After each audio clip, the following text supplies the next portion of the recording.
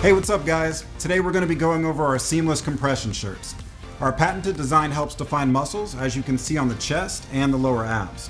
Now you get extra support on the back here with this X shape that helps improve your posture. The lower back compression can also help reduce back pain.